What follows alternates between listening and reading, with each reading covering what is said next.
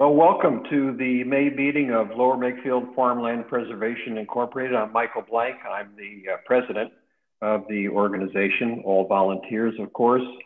And uh, joining me tonight are Dennis Stedman, who's a vice president and acting uh, secretary. Also, Dan Bonkowski, who is our treasurer. And Sean Carney, our newest member. Welcome, everyone. Thanks. So, so I'll turn it over to, to Dennis for the first agenda item, which is approval of the minutes of from yes, April. The, uh, the meeting, uh, I'm sorry, the minutes from the April 15th uh, meeting were circulated. Uh, I've not heard any comments. Are there any comments, uh, corrections, additions uh, to the minutes? Nope. Hearing, no. hearing none, I would make a motion that they be approved as drafted. Second. Second. Would Sean seconds. All in favor, say aye. Raise your hand. Aye. Aye. Uh, the minutes are so approved. We'll move right along to the treasurer's report, the next agenda item. That's uh, for Dan, Dan Bonkoski. Um, so since we last spoke, we uh, we sent payment to Corcoran Landscaping for $5,000 for the work that he did on the Leadham's property. We also got the invoice for $6,000 for the work on the Stackhouse property. It hasn't been mailed to him yet, but it's it's sitting there in an envelope. And then also um, uh, another check for him for $400 for the bamboo work at Makefield Brook. And so that check hasn't been mailed out yet, but it's sitting in an envelope just to be mailed out then too. And that is it. Dan, just a procedural question. So since we have the ability to, uh, to do bill pay, I think we, we do not through Fidelity. We do not. Ah, as a business, as a, as a business yeah, account, the they don't. Corporate accounts don't have bill pay set up the same way. All right. So for record keeping, I guess it works out better anyway. Good. It is what it is. But it's odd because we were able to deposit checks by the yeah. app and all. So, okay. All right. Uh, if there's nothing else on that topic, we'll move to the next one, and that is process for interviewing prospective board members. Uh, Sean, do you want to start that? And if James is able to join us, we can ask him any questions we want at that point. Sure, I'm happy to. Obviously, uh, a conversation with James would um, would be welcome because I'm sure he can give us, or at least myself, some insights that that perhaps I'm not privy to. But I just think that in all situations, there's something to be learned. And in the past couple of months, um, you know, we've had two board members join, myself um, and, and a board member that was here for a couple of months, and the incoming process was different. And I think that, you know, I don't know if there's an exit interview or, or, or what there is, uh, quite honestly, for a voluntary board, but I just think there's things to be learned. And my request or question would be uh, what we can do on the vetting side on the way in.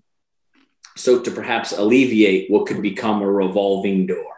I don't view this voluntary board as um, just any typical board. There's a, a, decent amount that goes into what we're doing on a on a monthly basis. There are a decent amount of hours that get put in. There's a decent amount of dedication, and um, and and I think that being able to go onto a website and simply click on and become a, a board member, you know, perhaps may not be doing ourselves a service or, you know, others, others that come in. So just trying to think out loud about how maybe in the future we can alleviate some of that and whether it's by, you know, some type of a vetting process. I think about my experience where uh, Mike, you contacted me. I took some time to talk to, to Dan because I had met with Dan. I took some time to meet with you. I got to know the scope of the ask and was able to commit to that. So if I can't fulfill that, then shame on me. But had I come in blind, I may have been, you know, eyes wide open that, oh my goodness, I can't believe, you know, there's this much involved in it type of thing. So just wanting to learn from the process. Um, that's all. And, um, you know, take any direction for, you know, that, that can be given to us. But just I just think that this board should be given somewhat of a heads up that someone has applied and be able to at least speak with them about the commitment uh, before um, just you know finding out that they're you know they've been approved. What I'd like to do is go around and find out what each of our experiences was with the Board of Supervisors. I'm going to start just by saying that I was asked one or two questions. What was my interest? Why did I want to join this board? Um, and I think they had my resume in front of them, and, and that was the end of it. It was very, I would call it haphazard, but it was random, a random, whatever the, a board of supervisor wanted, to, uh, a member of the board would wanted to ask me. How, how, what was your experience, John? Similar, um, living, breathing exercise. I was a I was there uh, to answer any any questions that they had. They had seen what I had sent them, which was, to your point, a resume, uh, just a, you know, a crafted resume about what fit with this role. Um, not a you know not a business summary. Um, answered any questions they had, but I never felt like it was really an, an approval process. I had gone through the steps to get to them, um, and it was just kind of more of a blessing that yes, this this works for you. Um, that was at least my interpretation of it. And, and Dan had it. What was yours? Uh, well, I, I guess I just want to back up a sec because um, you're, you know, for Sean, you were, I think, not a normal setup, right? Because um, we met you and had we had similar interests and you were very interested in what was happening and so we asked you right yeah. versus other people that are see an opening and reach out to the township because the general process is that the township supervisors have the ability to appoint people to our board, not us, the directors sitting on the board right now. The township supervisors appoint. So, um, but uh, I similar experience of what you what you both had to say, and I but I think where we're going to cut to the chase right is that the supervisors or township manager need to insert uh, you know insert a line break here that is um, somebody is sends an email to the township and is interested that needs to be forwarded over to mike before it's sent to the township before the supervisors see that resume and start having questions. I think it needs to go to us first to reach out to the person and have a conversation with the person, that seems like a much more logical approach. Agreed. Yeah, Dennis. Yeah, I mean, I, I joined a couple years ago, uh, so it's reasonably uh, fresh. Uh, yeah, I, I, had expressed interest to the Board of Supervisors for a different committee uh, uh, back in, in 2019. And uh, upon my resume and, and interview, uh, they realized I had an agricultural background uh, and, a career in agriculture. So they said, you know, they suggested the farmland. I had no idea what farmland preservation did or what was involved.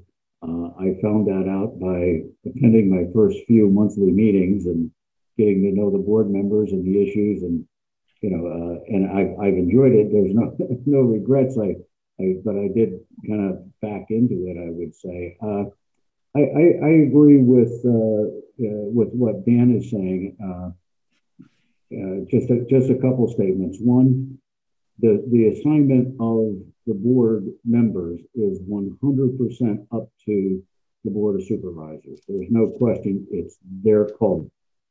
It's their call, pro, con, anything else. Uh, I, my suggestion is that the, these uh, that the current farmland preservation committee or board does not have a say in who is joining the board. Uh, it is the board of supervisors' responsibility, and I think that's pro a proper structure.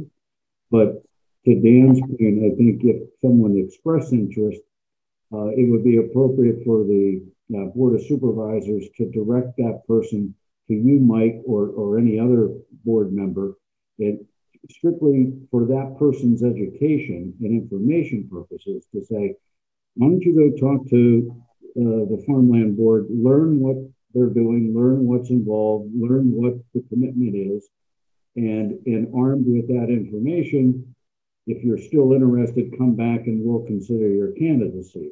It is still their their call, but I think the the better the the step of educating that candidate, that prospective uh, board member, in, front of their approval would just makes good common sense. Uh, so it's not a question of this board picking its uh, its its colleagues, but it's just informing uh, an educational step in that in that interviewing process by the board of supervisors is what I would would, would recommend. And yeah, uh, and I, oh, sorry. No, no, I'm I'm I'm I, I think that's perfectly what, what your suggestion is perfectly legitimate, and that was running through my mind too. Is that we just put in a request? We could do that through our liaison now, James, that we uh, are enabled to speak to any prospective board members before they before they vote. If they choose not to do that, that's their prerogative. Mm-hmm. We can certainly we can request that, and I think mm-hmm. it will be accepted. And, and I think it's uh, it, it's for the, the for the candidate's benefit. So they're they're coming into assignments and responsibilities eyes wide open, uh, and and they're not volunteering for something without knowing that they're signing up for uh, eight thirty on a Saturday morning or something. Um, you know, sometimes it's a fit, sometimes it isn't, and uh, and so that educational step I think is important. And each board, as this board goes through time, can do as much or as little as it chooses. Right. Uh, you know, it depends on the personalities involved, and I think we have a an active board, and I like that. And so the people that join us should be prepared to be uh, more active than maybe they anticipated. I agree. Good. I would think that the board of supervisors would be welcoming to the thought of ultimately interviewing candidates that have an understanding of the role, the scope of the role, and will fulfill a, a four year commitment to the role, as opposed to having to do this again in six months, you know, whatever it may be. Great, great. All right, so I'll, I'll uh, take that as an action for me to speak with uh, James as mm-hmm. our liaison. And if you think that it would be important for us to, uh, for me to speak to Susan Suzanne Blundy as the current um, head, I could do that too. I think township manager. Ah, okay. And, and, and, and take James's lead on that. He should have mm. a pretty good read on mm-hmm. how to, you know, best uh, in, implement that kind of that kind of process. Because the applicants go through the township manager and he or she then forwards it on to the board of supervisors. Right. right. Okay. Yeah, definitely will uh, we'll do that. Okay. I'll speak to both of them or get James guidance on, on, on approaching the township manager. He does that or I do that. Good. All right. Very good. Anything else on that topic? Kirk, any any any comments from the public? No public comment. Okay, thanks. We can move on now to the next topic, update on honeybee keeping uh, from Dennis. Yes, okay. Um, well, uh, we've, uh, I think, cleared uh, all, all, the hurdles. We've had necessary public meetings. Uh, and uh, the we have a three-year lease with Dr. Sven Strand that begins May 1st. Uh, I sent him that that lease after uh, everyone's reviewed it. He has signed that lease and it's on the way to you, Mike. If you don't have it yet, it, it was sent by U.S. postage to you for counter signature along with his first rent check. Uh, is coming. Uh, Dennis, just clarify, that was sent to the township first, and then they will forward it to me. I think, it's, right? It's addressed to you with, at the township building address. That'll take some time. okay. yeah. Yeah. All right. Okay. Just uh, so we know. At the same on the same uh, time, I sent the side letter agreement to Charlann Farms for Sam Stewart to sign. Uh, that releases him of any responsibilities for that uh, that plot that has the bees, which we have uh, subsequently leased to Sven. Uh, I've, I've not had, I've not heard back from him. I know he had no objections to it. Um, it's a busy time of year. I just sent him a follow-up email to ask where that agreement is, but uh, I don't, I, I, don't know or see any issues uh, there. Um, the uh, the honeybee, uh, uh, the hives will go. the bee, the hives and the bees will go into location on this weekend. if I could share my screen quickly. Sure. Just to show you uh, if it. see that, those are the the two hives that uh, Sven has developed.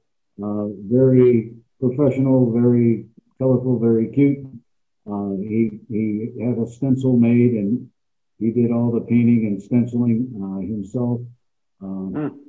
I think uh, they will uh, they will look quite quite nice in the woods and be quite clear as to what they are to to anyone that should run across them. Uh, that shouldn't be anyone since they're uh, it's it's no trespassing, but uh, yeah. we'll, we'll, take that uh, we'll, we'll, we'll, take that as as we need to.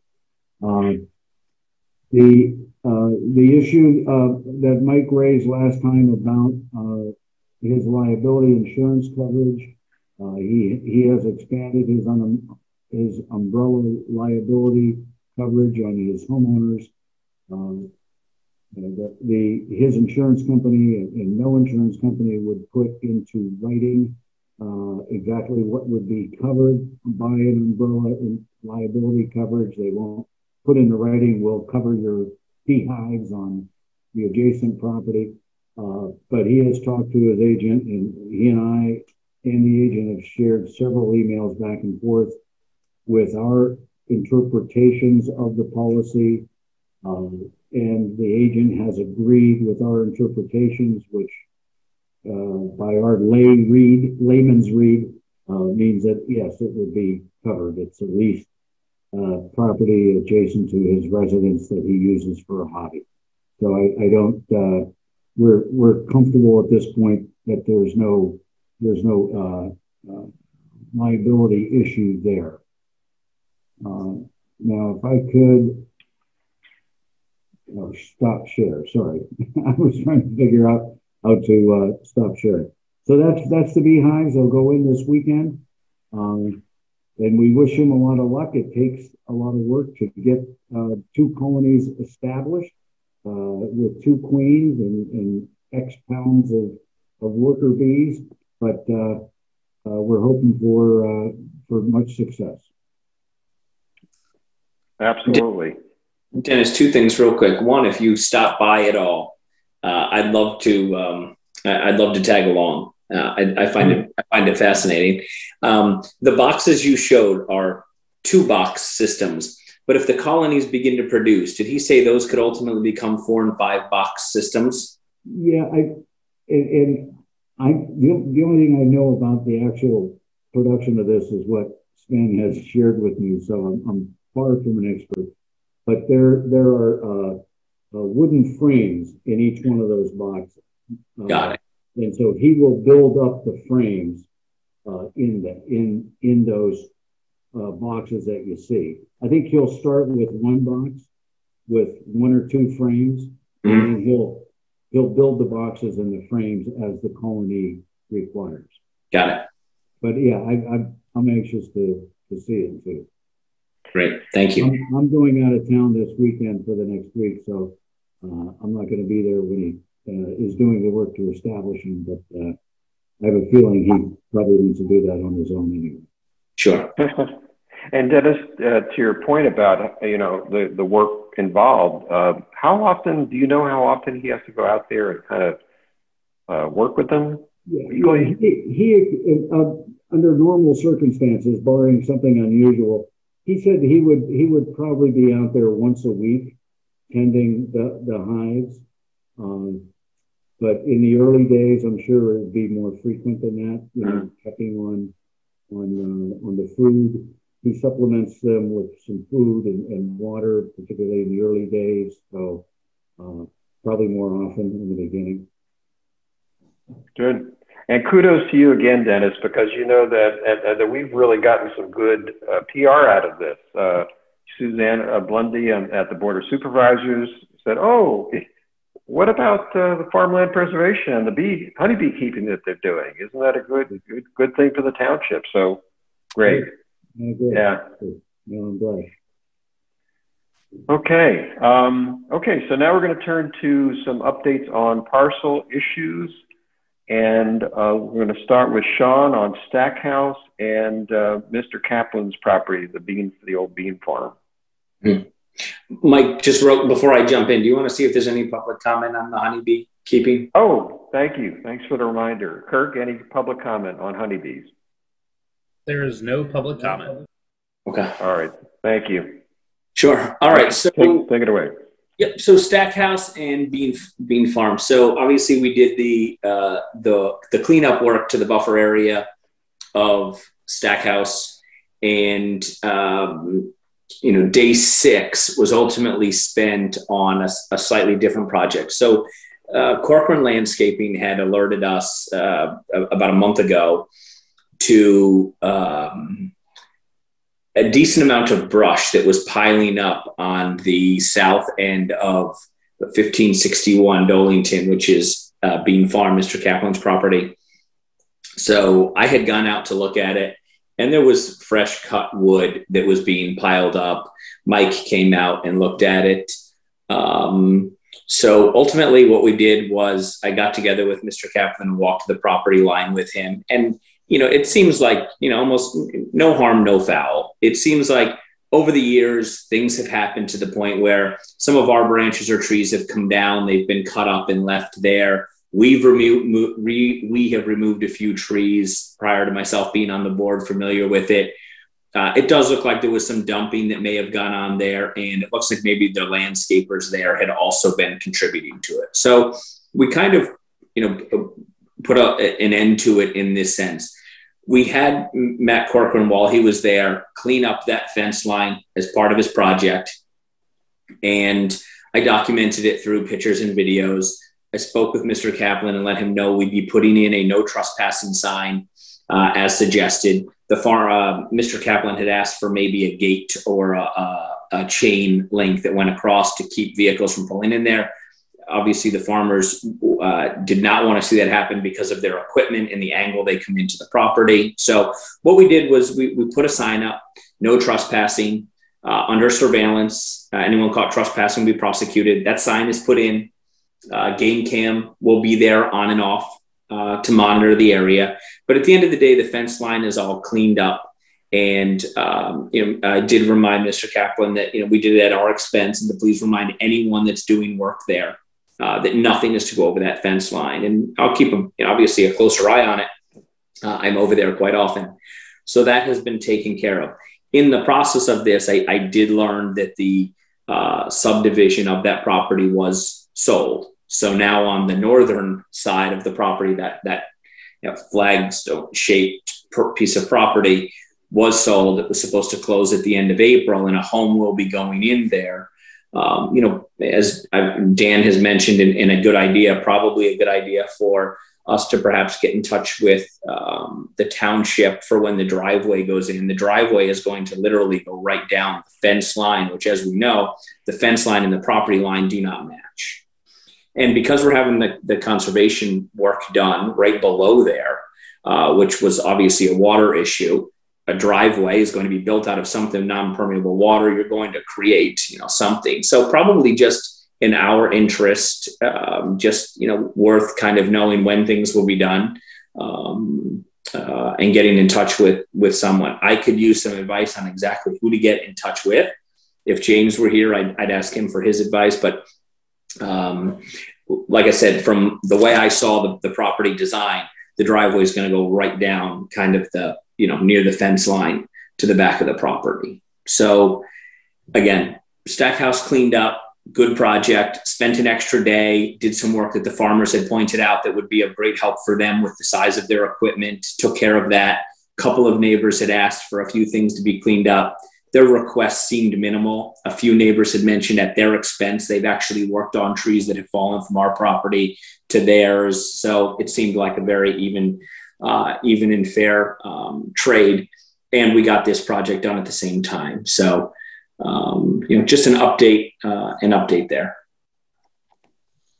Thanks, Sean. Uh, Dan, any comments on the property line, the driveway, and who Sean should contact? Is it Jim Majewski? That, that's that's who I was thinking as well. Okay, I'll do that, and uh, I'll ultimately just be inquiring for, you know, t- timing of of anything um, and just let him know of our interest as being the neighboring property and kind of the work that we're having done at a similar time uh, and the water issues that we've had, just making sure that, you know, that we, you know, have some details. That's all. Now, we, we did get a um, review and a attestation to the fact that whatever was being done, well, we, we had it, we had the, the water runoff plan or stormwater drainage, whatever they call it, for the Kaplan subdivision looked at by Rachel Anuska of the mm-hmm. soil of Bucks County Conservation District. Uh, she said from looking at it that she didn't have a problem with it. So we got clear and some assurance there that it looks, it won't damage whatever, even with the driveway, uh, it wouldn't damage us. Yeah, I mean, and, in theory, I hope that's right, and I'm, it, it probably is. But at the end of the day, you're going to throw in a non-permeable driveway from front to back. You're going to be removing several trees, and you're going to be yep. putting in a home with, and with a home comes a, an even larger non-permeable area right in that corner. So there are several factors going in all at the same time. Yeah, I, I, no argument there, and we should get confirmation again from Jim. Uh, absolutely. Yeah. Well, I, I knew that the township had to review that. The township already reviewed the plans around the permeable surface area for the for that property, for the subdivision, okay. um, and which I, I agree that that is a concern that they shouldn't keep modifying it. You know, you have no idea what's going to happen when somebody actually finalizes their plans, right? Um, and then also, I would certainly mention the other concern around the fence line that because the, the homeowner or the purchaser should also know that because again that was in all of the i know there's stakes out there. I know that there are surveys that were already done. I'm sure plans and writings and drawings were all shared. So that shouldn't be a surprise to anybody at all whatsoever. But you know we want to make sure once you get a contractor on site that they are they're still following the same thing. So. Mm-hmm. Okay. So I would just I would just mention in that email too about the concern around the fence line versus the property line don't match up and got it. Mm-hmm. And, and okay. I, there's also uh, I, I, I don't um, I don't know exactly, but I know there's setbacks from property lines and driveways. I mean, the driveway can't be on the property line. There's a minimum setback. Yeah. Uh, and, and we want to be sure that's adhered to. And then from the property line, farmland preservation, uh, correct me if I'm, I'm wrong, uh, but we're obligated to provide a 25 foot buffer between our property line and the field, the, the cropping right. area. And so we'll want to be sure that we're minding our P's and Q's and distances there and maybe want some stakes in terms of where the property, the cropping areas should be versus the property line because Tim's going to go out there and plant, you know, be, before all this is done. And uh, we, we, we would like him to plant. Um, with, uh, his be appropriate come this fall after all this construction is done. And, and we all know that different agencies will review the site plan and approve them.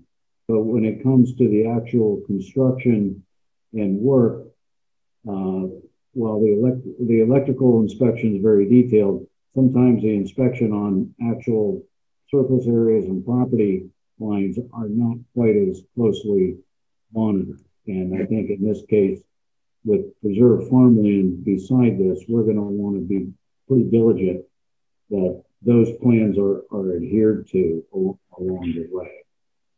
Correct. Okay, noted.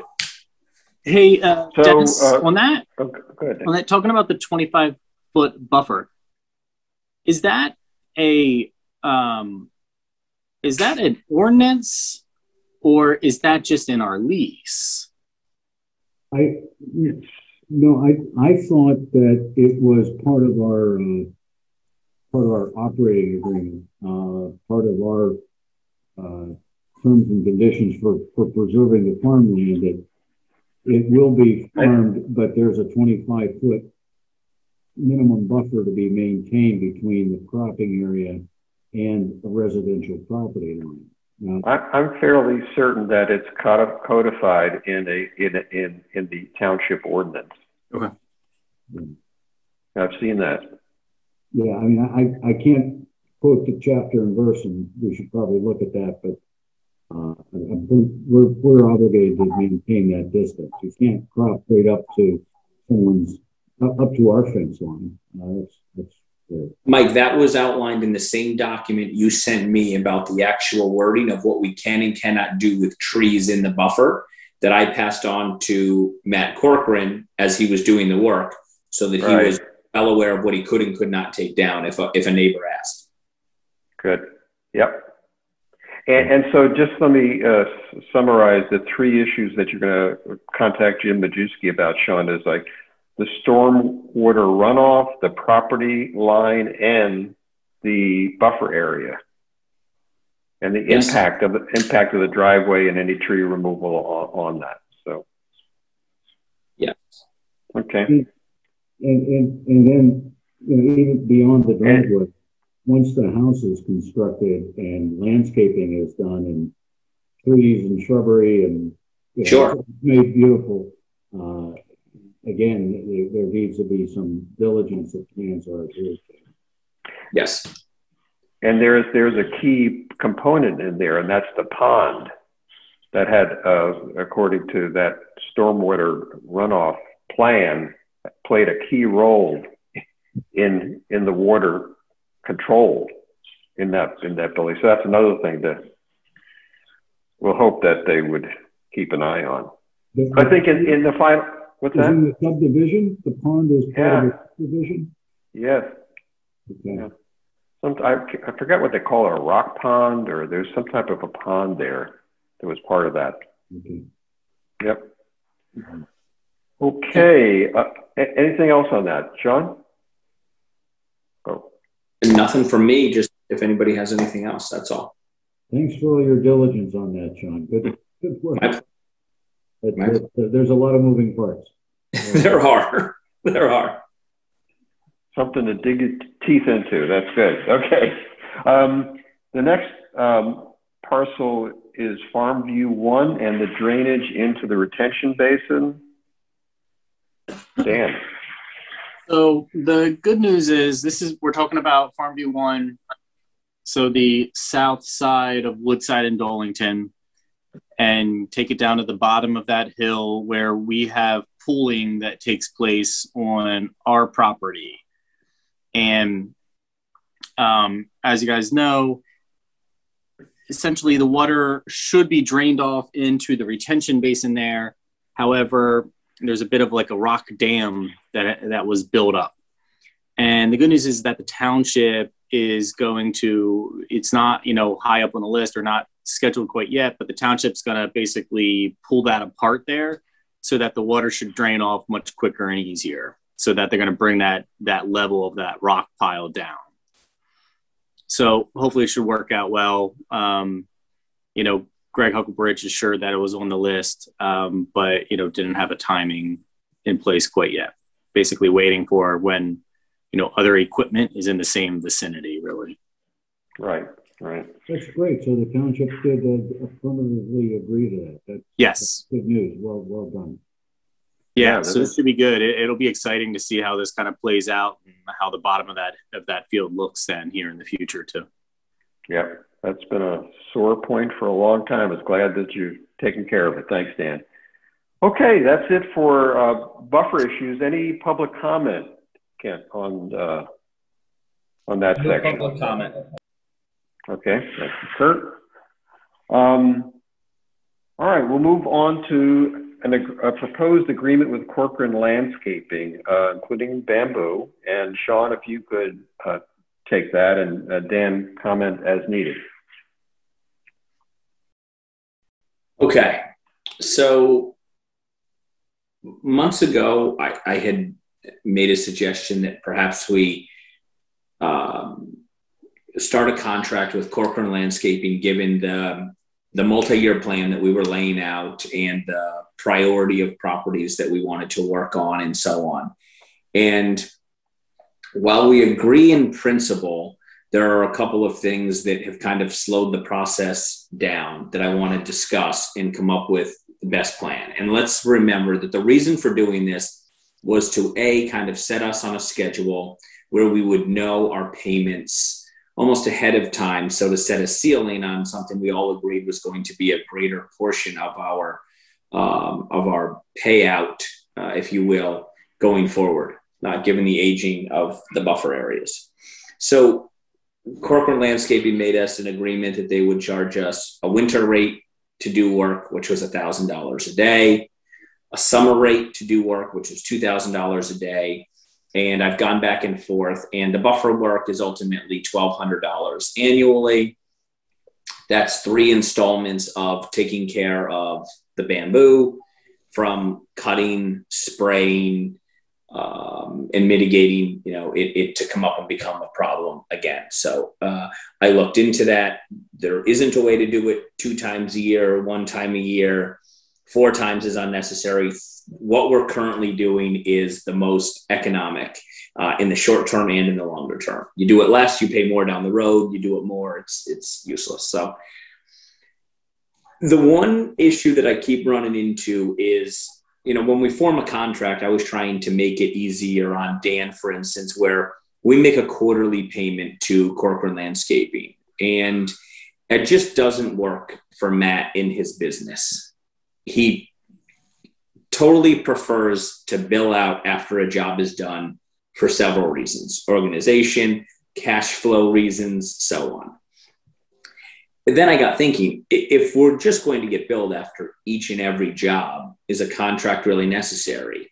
I have no indication that our day rate in the summer or winter is going to change. And I have no indication that our bamboo price is going to change either. I guess, you know, the only thing that it still helps with is that we were purchasing days from Corcoran Landscaping instead of jobs, which was a benefit to us in the sense that if tonight there's a storm and a tree falls from the buffer area onto a property, and we call Matt in the morning and say, Can you go to X property and take care of it? When he was done, we weren't going to get a bill. He was going to send to me, Sean, I was there four hours. You have four hours left on that day, type of thing. So there was a benefit to that he's willing to be billed out uh, to be uh, to do this monthly but that's about as far as he can go. So my question back to the board is this. We've talked about this ad nauseum. We have all the details. We agree on everything in principle. Do we want to move forward and do this where we lock into 10 winter days which for the next three years we have the work for no doubt two summer days which again we have the work for. And then the buffer is a non-issue in that we're sticking with the buffer that the, i'm sorry with the with the bamboo. the bamboo plan that we have we're sticking with that going forward so that it doesn't become a bigger headache down the road. Do we want to go forward with that? And then um, and if we do do we want to be billed by job or do we want to do this on a monthly basis? We know what the annual fee will be if we do this we would just be paying 1 12th every month you know, again, it was being done in the best interest of both parties. I think we got somewhere with it, but at the end of the day, do we want to sign a three-year contract uh, for this, or do we kind of just want to continue to use uh, Corcoran landscaping uh, when we need them and how we need them, but not go into a, a contract itself? Uh, Dan, oh, go ahead. Go ahead, Dennis. Uh, in the three-year agreement, are those prices fixed? The, the daily rates? They, the, they are fixed with a two and a half percent increase annually on the summer jobs alone. Okay. So I did drop into our teams folder the um, the the contract that I'm working on, so you'll be able to see it there. Uh, but the, so the summer rate and bamboo rate are frozen. The bamboo rate is frozen. The winter rate is frozen because he knows who his workers are in the wintertime. It's he, his son, and maybe one other. In the summertime, he has a couple variables, such as minimum wage changes, gasoline prices, and his workers. So he asked for a slight increase on the summer months. So we built in a two and a half percent increase annually and he was perfectly happy with that. So we know what the price is going into each year, period, and we agreed it fully in principle. He just said he doesn't run a business where he can, you know, receive a check quarterly when he owes guys out weekly. And I get that. I do understand. I mean, I, I think just locking in those that three-year price agreement makes the contract, in my mind, worthwhile. Now, you know, the, the billing situation, I think you know, that's between, you know, kind of Dan and Corcoran, what, what works, whether it's monthly or whatever. Mm-hmm. Uh, that, that, that I see is less important, but locking in rates for a good reason to do a three-year agreement. And, and we can look at each other knowing we have this agreement. And so when stuff happens, like stuff always happens, yeah, uh, you know, we're, we're, we're in it together a little more, right? It, it changes the relationship. Right. And again, it is at our cost. We know what it is, and that's great. And we're never going to waste because if let's say we have a great year and no trees come down in the summertime, and Matt does no work for us in the summertime, well, then we get him working on the projects we already know we're going to get working on. So we're never going to waste hours. Let's put it that way. Um, you know, but to Dan, you know, is it easier for you to receive invoices each time he does work? Or would you rather know each month we owe a check for X amount to Corcoran Landscaping? I think it'll be easier to receive it per job as the work is done. The best benefit of that is, as you know, we're trying to improve our books and record keeping, and this will allow us then to uh, he will be billing us by project. Therefore, it's automatically allocated to the right farm and the right parcel mm-hmm. so that we don't need to go in after the fact and divvy it up ourselves. So, and, you know, sure, it's nice and easy not to have to, you know, write a bunch of checks for each job as they come through, but it doesn't make that much of a difference. And I think it, it'll just be easier then probably from a record keeping perspective to you know to attach it all to the right work. Okay. And if that's his preference you know fine right? It is his preference. He was certainly willing to work with us by going to a, a month um, but it was his preference to do it by job. The only time that it won't be 100% clean dan is this. During the summer if he goes and does work for an hour he's not going to bill us for that right. job because he's up for eight hours of work. He can bill us at whatever point he wants, but there's eight hours of work we'll be receiving for that one payment of a thousand of, of two thousand dollars. Okay. So so is the benefit to us that we have him sort of on a retainer? Is, is yes. that the emphasis? Yep. And we've locked and we've locked in the rates as Dennis was saying as a positive. Um, yes, it, it, built a relationship with someone who we know the quality of the work that they do and the responsiveness, right. which is day and age, is they're both great qualities. Mm. So go over with me again how we keep track of what he's doing. That's where I'm a little fuzzy. Sure. So the 10 winter days are going to be allocated by us based on the priority of farms that we already put together. So Leadham's we knew was five days. Stackhouse right. we knew was five to seven days. Those were the 10 days we guaranteed him. Those are done. Next year, whoever the next two farms are, I think they were probably in yellow because there were only two farms in red. They're done. Next year, when we go to yellow, anytime after the crop is picked up, we determine what we're going to do, what our plan of attack is, and we tell Matt. And then okay. he has whatever time he wants during the winter to fulfill those 10 days on those properties. And he'll be in touch with whoever the overseer of those farms are. And a bill will get sent to Dan, and those $10,000 will be spent that way. Now, now what are the bamboo? Yep. The bamboo we already know is done three times a year.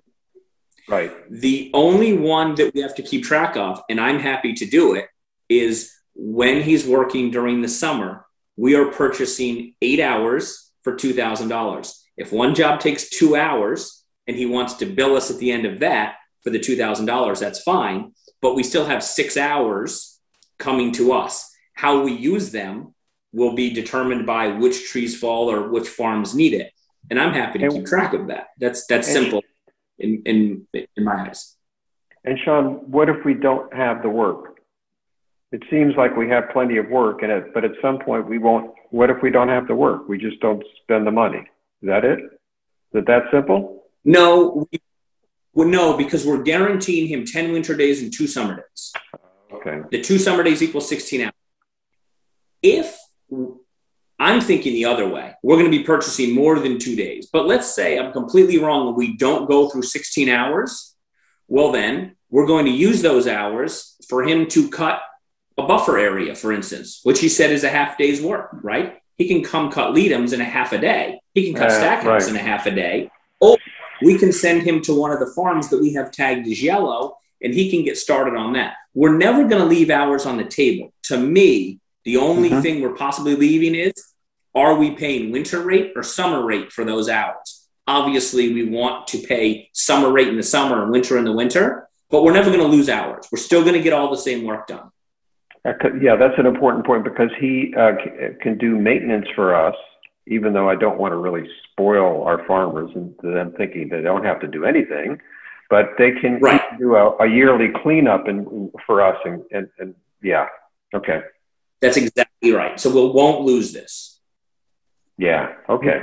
Sean, I, I think your minimum of 10 day, 10 winter days and two summer days it, are, are very, your, your minimums of 10 winter days and two summer days are very safe. I, I agree with you. I, I think we're, we're not going to, you know, uh, underutilize that. I mean, if, if, anything, we'll be using more time. So I think you've set a, a, a safe threshold uh, okay. for those minimums. Okay, great. Well, then I told Matt that I would make contact with him after tonight's meeting, mm-hmm. and I will finalize the the agreement and put it in in front of you all to read one last time before I look for a signature on it. But all we're ultimately doing is locking ourselves in for three years, locking in the price. We'll pay per job, uh, which makes it easy uh, for both and for our recording, and and go forward that way. Great. Um, do I think we'd like to have a motion uh, out of this so we can ha- have it recorded that we voted on this? So would you ha- have a, a motion for what? For Sean to revise the agreement and have Matt review, have us review, and then Matt sign and finalize it. Is that it?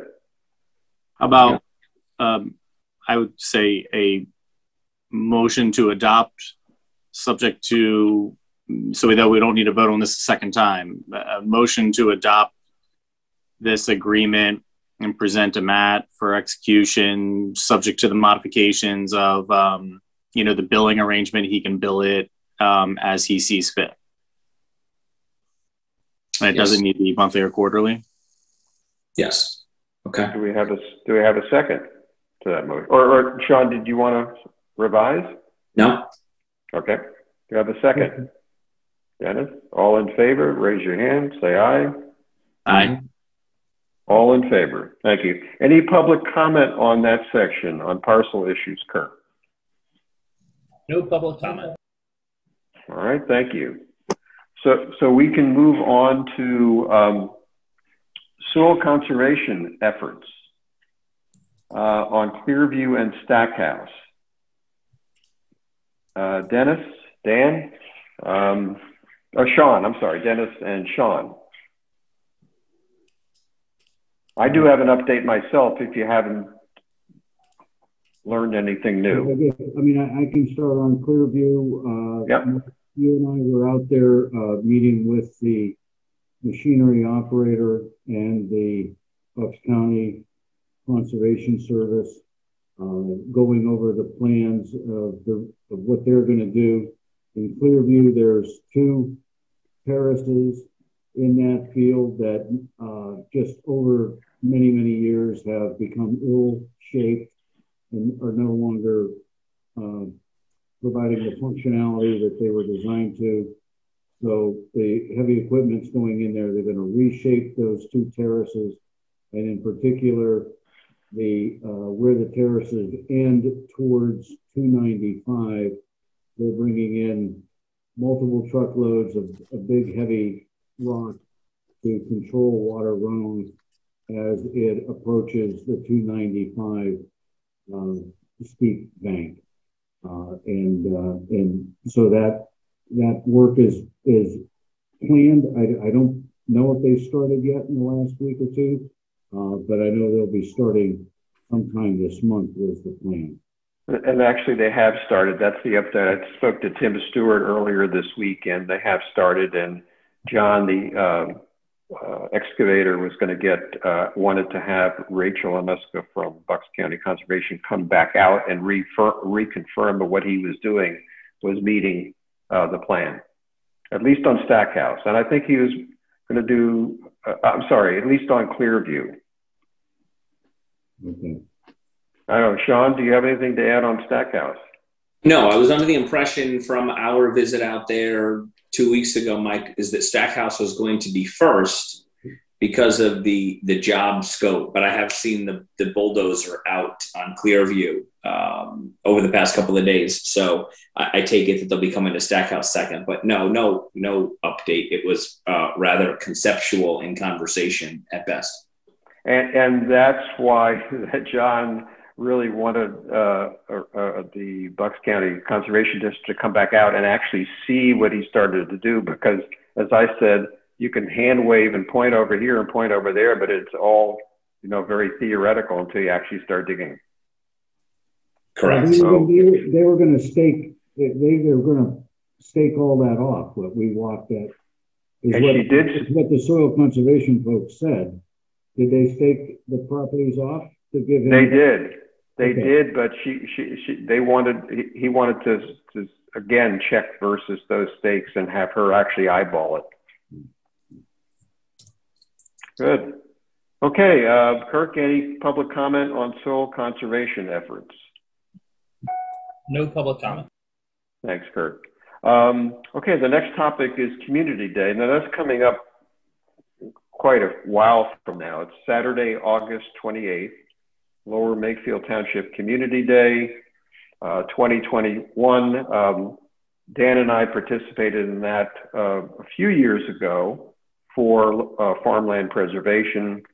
Um, and um, this time we got uh, Tim and Sam Stewart interested and said we would sponsor them to pay us a nominal fee for them to, uh, to participate. They've agreed to do that. And so that's Saturday, August 28th. And the plan, as I see it, is that the Charlann Farms would, would set up, which whatever way they want to, and that we have a representative there with our. I have an extra sign like the ones you see along the the roads for farmland preservation, and set it up there so that people can see that we're associated with uh, one of the, the farms and be there to answer questions in case there are any.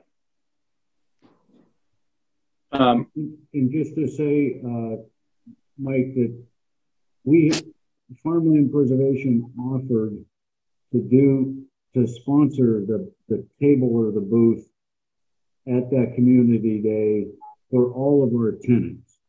Uh, we made that same offer to any farmer renting our property. Charlann took us up on that offer. Thanks for the clarification. That's absolutely right. That's right. We did offer all the farmers, yes. So um, if anyone will be around then in August, you're welcome to, to come by anytime during the day. I think I will be around, so I'll, I'll be there for at least part of the day. Uh, and we'll look forward to that coming up. And the organizer of that will be sending out uh, more information on that in the coming weeks, I've, I've been told. Uh, I, did, I, I just want to add a couple comments because, yeah. like, I think we did it, I feel like it was three years that we maybe I, I sat there at least two different years in a row, but I feel like it might have been 3 Uh-huh. And I, I just want to add, I do not think it's critical that there's a representative from us that is there at their booth during the day. hmm I don't think it's critical. I don't think it's, I mean, I, I don't think it's necessary. I think we got a sign there. That's great. I, I don't think it's necessary for somebody to be sitting there. Okay. Dan, I'm going to guess that you did it one year, but it felt like three years. From that comment. Just a guess. It was a long day. I was there. I know we did it two years in a row. I know we did it two years in a row. Okay.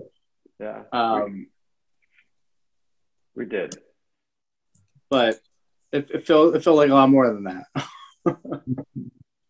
Okay. You're right about that. All right. Um, any comment, Kurt, on the Community Day? No public comment. Okay, thanks. So I'm going to share my screen. I want to um, mention this. I can find it. No, no, that's not it. So let's see.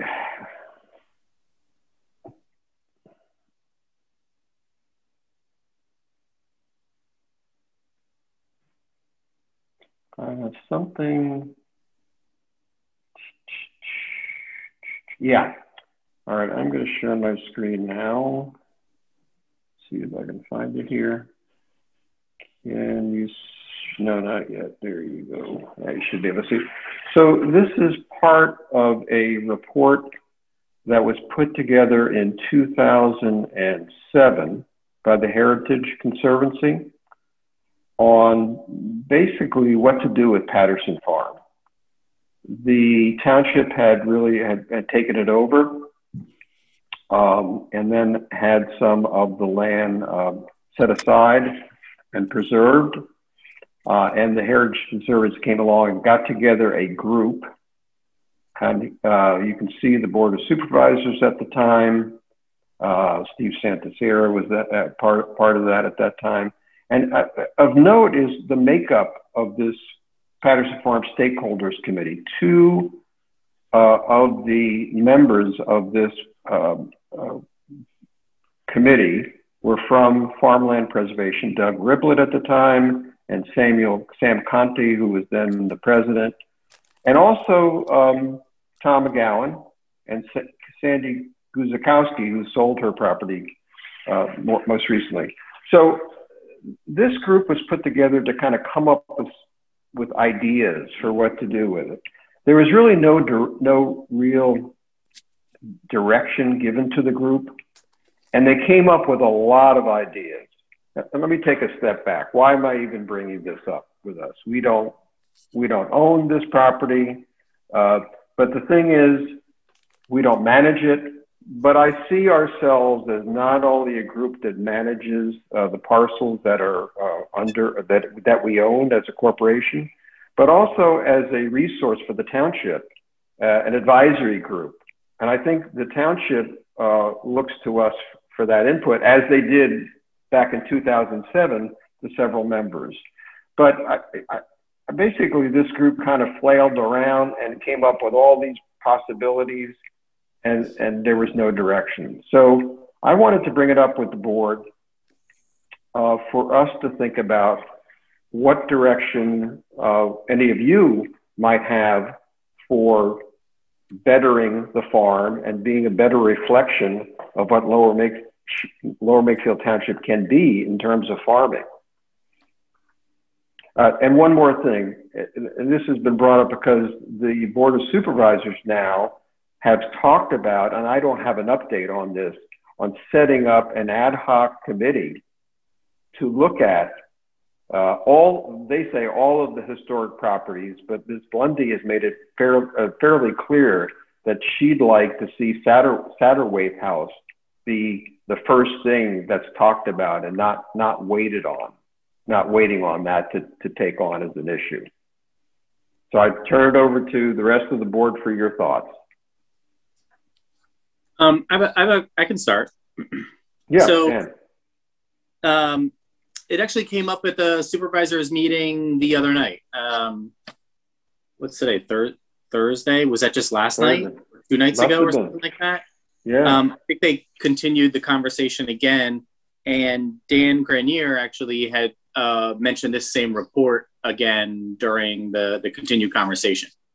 Yeah. Um, and as part of that, uh, I think Dan, I, I forget kind of where they fell out, but I don't think they finalized the complete makeup yet, but I know that Dan had at least commented that, you know, that there should be, you know, different people pulled together, you know, more broad representation to some degree. Hmm. Mm-hmm. Um, and then I I just want to be to to kind of restate, Mike, to kind of complete maybe one of your thoughts, but tell me if you if I'm not doing what you said or what you were thinking. Um, I, I think that this this committee did what they were set out to do and mm-hmm. set forth a nice set of recommendations. Um, they have, you know, a lot of conclusions and recommendations that were put forth and ideas. Mm-hmm. You know, to be clear, I think they don't. They were not in a position to enforce anything or put through anything. So right. if there's a lack of action that took place after this, I think that sits squarely on the on the township supervisors. Right, right. Um, there was a couple interesting things in here. Um, you know, talking about long term or short term. One, I think very key to us is it was keep the houses separate from the farm. That the houses should be dealt with in a completely separate manner than the farms and the farmland. Um, so that was, I think, was interesting. They talked about short-term or long-term lease options. Uh, Mike, the one thing they talked about was that they felt that this was not suitable for education, whether that is having people actually come out and learn something about farming, or uh-huh or turning one of the actual buildings into some sort of museum on farming or the like. Hmm. And I kind of like bring back to what you bring it in reverse and say that, yeah, they, they, this committee brought up a number of recommendations and ideas, but they ha- had no guidance. I, someone, it seems to me, from the Board of Supervisors say, this is the, or the Board of Supervisors as a whole say, this is the vision we have for this property. Otherwise, it's just going to be another committee that's going to bring up all these ideas and they're going to go nowhere. So it's kind of saying the same thing. You know, if we if if a, a new committee generates a bunch of ideas and the board of supervisors doesn't show leadership to drive it in a certain direction, then it will go nowhere. And, and that property continues to just lay there decaying. It's just a shame. I, I agree that it's a shame. Um, it's it's obviously a key resource or key property to the township. It's it's the opening picture on Lower Makefield Township website.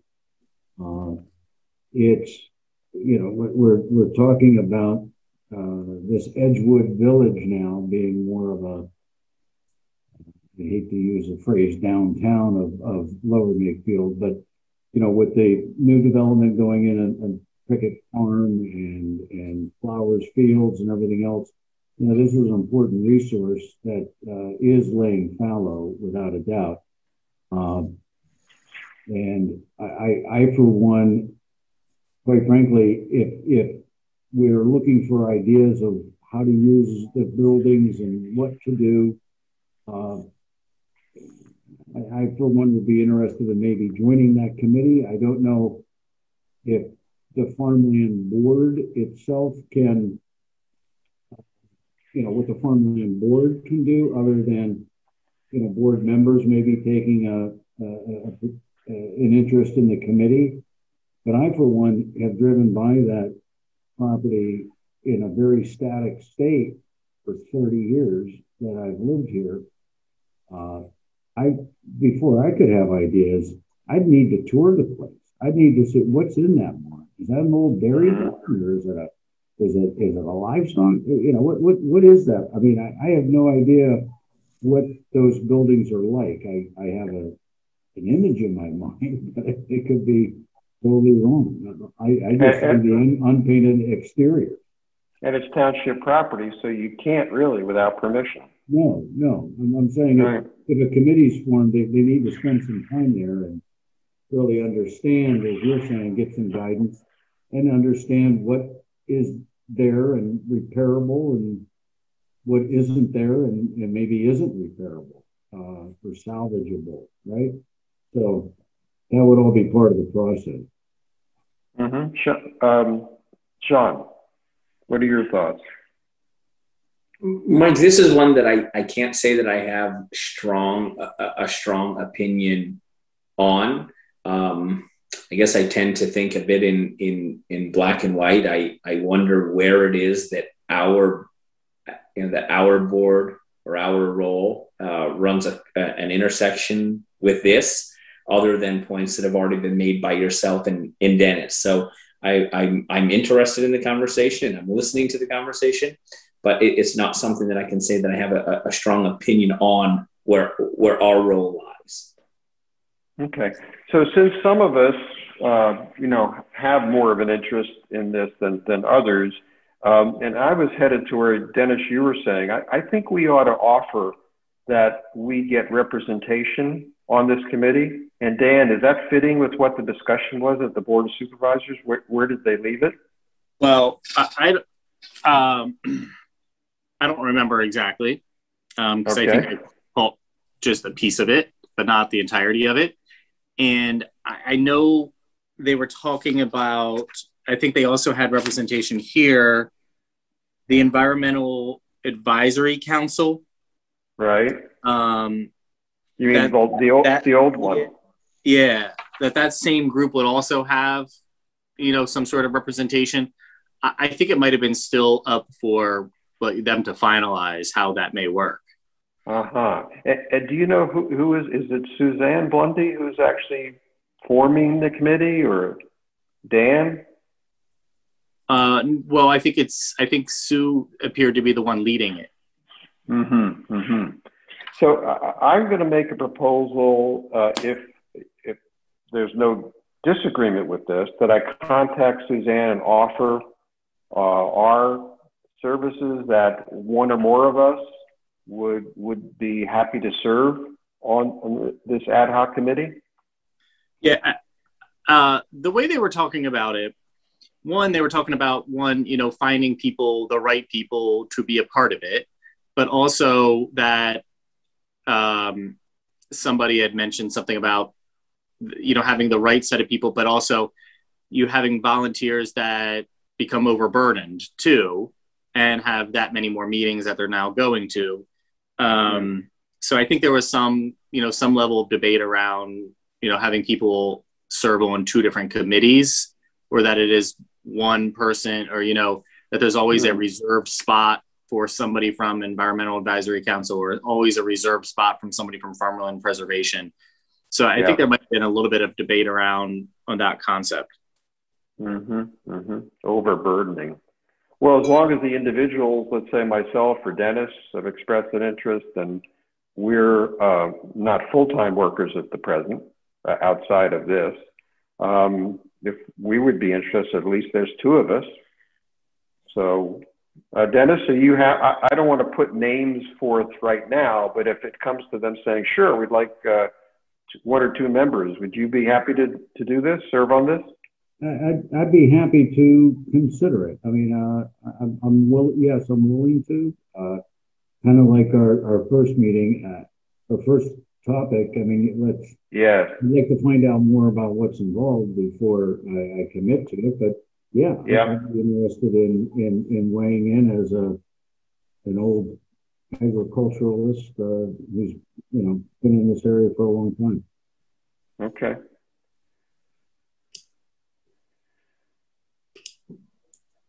I think, and Mike, when you say that we're retired, I'm reminded of the meme that says, just because I'm doing do- nothing doesn't mean I'm available. Got to tell my daughter that, please. Okay.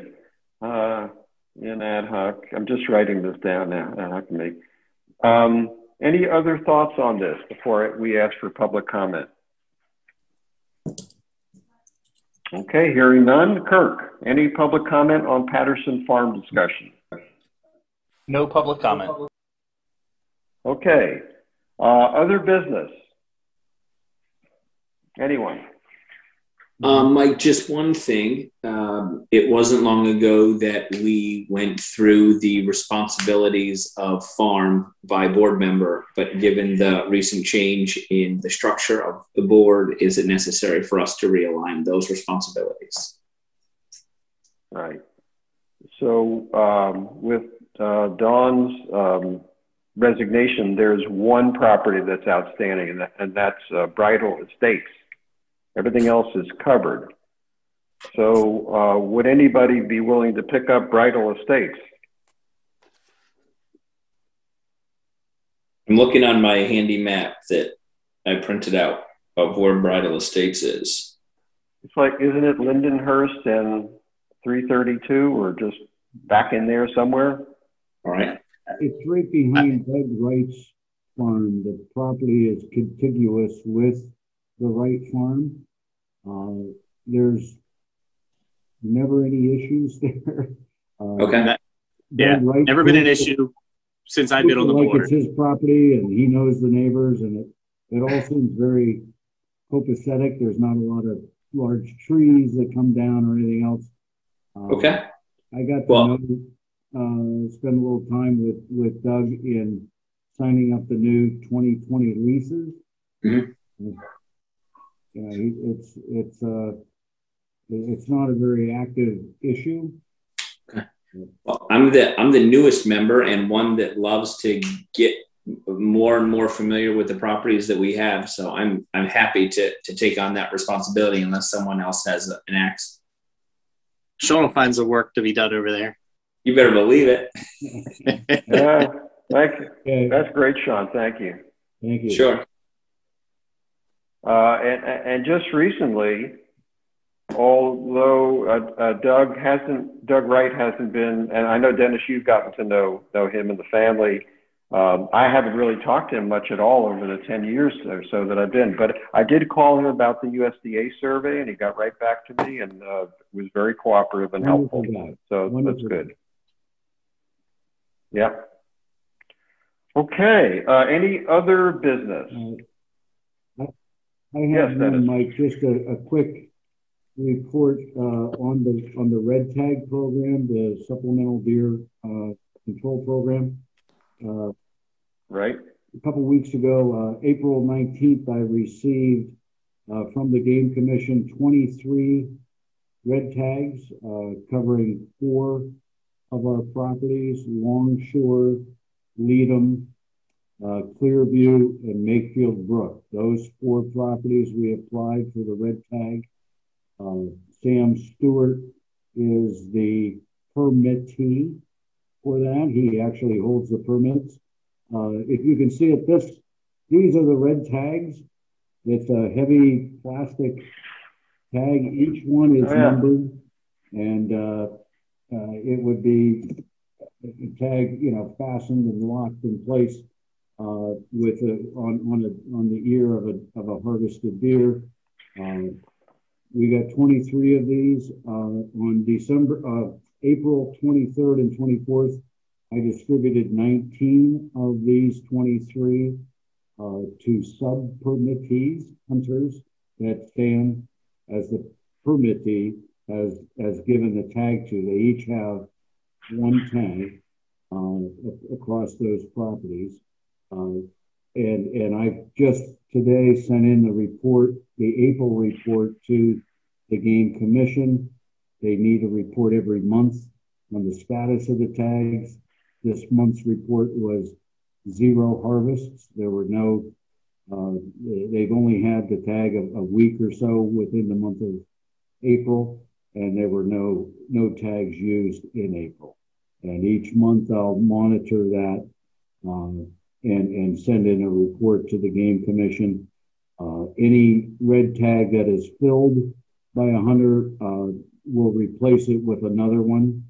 Um, and if we exhaust all the red tags in a, a, a, given property, we reapply to the game commission and they uh, they will probably, they're not obligated, but we expect they would give us more. Uh, so just just a, a, quick update on that. And also, when I said I, I distributed 19 of them, uh, 10 of them were distributed to uh, BOMA, um, the organization that uh, uh, coordinates the, the deer population control with uh, with Lower Makefield. And Jim there, who runs that organization, he has 10 tags, which he then distributes to his individual hunters. And last year, if you recall, they were quite successful in, in using those tags. So uh, the season is very short. It's going to expire here May 15th, and then we'll resume July 1st. Uh, May 5th, they took that, that six weeks off, which is the fawning season. Um, so if uh, they're not used here in the next couple weeks uh, or a week or so in May, then uh, they won't kick into gear till till July again. So that's that's where we stand. And July through to uh, the beginning of the regular uh, season. archery season, which is uh, a date in September. I don't have in my head right now. Okay. Dennis, can I ask you a couple quick questions? I'm sure they're probably they're yes no questions. I bet these tags are to take doe only. Antlerless deer only. Okay. And the hunting is done by bow and arrow? Exclusively. During daylight hours or can be hunted at night with? Yeah, all of the, uh, it's archery hunting only. Uh, all of the normal hunting regulations apply in terms okay. of hunting hours, mm-hmm. sunrise to sunset, in terms of property setbacks, uh, certain distances from residences, permission to be on the land. Every hunting regulation that applies in the normal season applies here. Plus, uh, they are obligated to wear blaze orange going in and coming out, which is very atypical, which is not required in archery. Correct. So that's that's a bit of an exception, but other than that, it's every rule that you're probably familiar with. Okay, and the red tag is what allows the harvested deer to be taken to be harvested. Yes. Yeah. And, and each hunter who, who possesses a red tag also needs to have on them the eight and a half by 11 sheet of paper from the game commission that, that specifies this permit number and has all the signature of the farmer and everything else. So for each property, there's a different permit and each, when, when I gave a, a red tag to each hunter, I give them a copy of that permit, which they have to have folded up and with them in their hunting license or wallet or whatever. Because if a game commission, if a game commissioner stopped them, a game warden stopped them and said, why are you hunting here? They show the red tag and they show the permit and they're, they're fine. Okay. If anyone expresses interest in a different location to hunt, um, Mr. Kaplan expressed great interest in any hunter looking to harvest a deer legally uh, has the ability to hunt off of his property. He'll give them access. There is a deer stand on the back uh, of the property line. Okay. Uh, I would have to assume it's like shooting fish in a barrel. Literally, they just run through there. But he expressed great interest in having as many deer eliminated as possible. So if anyone's looking for a spot, okay. uh, you know, please reach out. We have not we have not applied for red tags for the Stackhouse property. Got it. Mm. We we we could, uh, I, I, suppose. Uh, uh, it's late in the game, but I, I, I guess we could uh, if if there's a real interest there. I'll, I'll need. Uh, that's also Sam. Sam Hans. Yes. Yes, that's Sam and Tim. Okay. Yeah. Uh, they issue one tag for every five acres of cropland.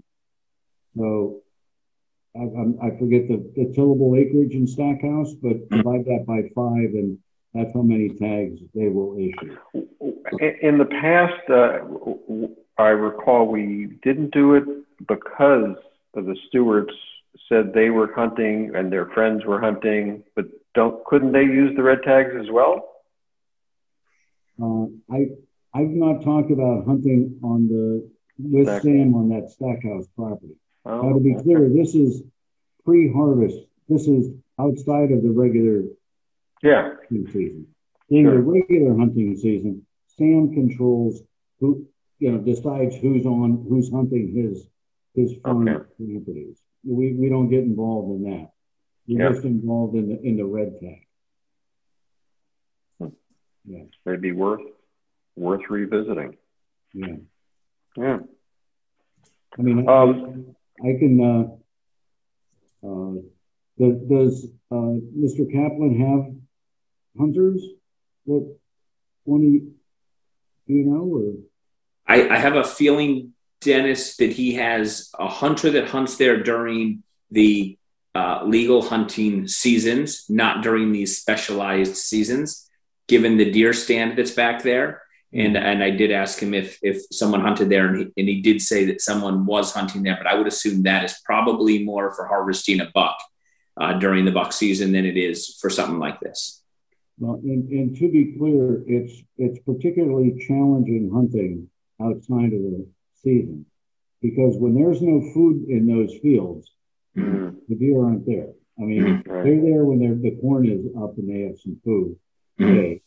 B, uh, you have to be able to process the deer yourself at home because I don't know of any deer processors that are open outside the, uh, the deer season. No kidding. Like Eli Farm right now isn't open. Nope. No kidding. They they start when archery season starts. Got it. So, That's a whole the, the network of hunters are are dedicated hunters who know how and have the equipment to process the venison themselves at home. Okay. That eliminates that, that just eliminates individuals to a very narrow number. Yeah. Interesting twist. Yeah. yeah. Hey, Dennis, uh, I recall in the, in the talk about permits and all that you were required to put up signs identifying yourself. Uh, Is that? We've not done that this year. We did it last year for the first time, and uh-huh. it's unclear. It's now unclear to us if that's necessary. Uh, oh, okay. That request came sort of out of left field by uh, the new game warden that was responsible for this game management area uh, mm-hmm. last year. Uh, that game warden has moved on, and uh, there's a new game warden, and nothing's been said. And so that's fine with you, I think, right? Right now, we're just standing pat on that. Okay. Okay. Okay. Fair enough. Fair enough. Good. Um, any other, uh, thanks for that update. Thanks, Sean, and thanks, uh, Dennis, for both updates. Any other business that we should go over? No? Uh, Kurt, any public comment, any other uh, business from the public? No public comment. Okay, thanks. So let's uh, review action items and then wrap things up. So the first thing is for me to let uh, James know uh, that and, and, and also get his advice on approaching the township manager. Maybe that's the more appropriate person that we'd appreciate speaking slash interviewing prospective board members in advance. Let him know that's our desire uh, as new, new members uh, come along, hopefully. Uh, then I have uh, Sean. You're going to contact Jim Majewski of Lower Makefield Township about the, the driveway to be put in uh, for the bean farm and, and the uh, three issues, stormwater runoff, the property line, and, the, and maintaining the uh, buffer area, farming buffer area. Sean, I should have you down for contacting Matt Corcoran to revise the Corcoran, Corcoran agreement. I know there's several other steps involved there, but that's a general one. Do you want to re revise that? Uh, okay that? I'm okay with that. Yeah, okay, we'll leave it with that. Uh, I'm, I'm going to let Suzanne Blundi know that uh, farmland preservation, at least some members of, of the board, uh, would theoretically participate, you'd like to participate in the ad hoc committee, depending on, you know, what's involved. And that, that Dennis, that includes me too. I don't want to give a blanket, you know, just yes, uh, until I, I would know what's involved as well. Um, as a board, we reassign uh, Bridal Estates to Sean. And thanks, Sean, for taking that on. Mm -hmm. And anything else? What did what did I miss?